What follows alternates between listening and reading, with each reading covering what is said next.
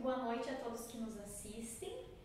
Hoje a série Casa da Música na Sua Casa vai apresentar um importante ciclo de música de câmara vocal.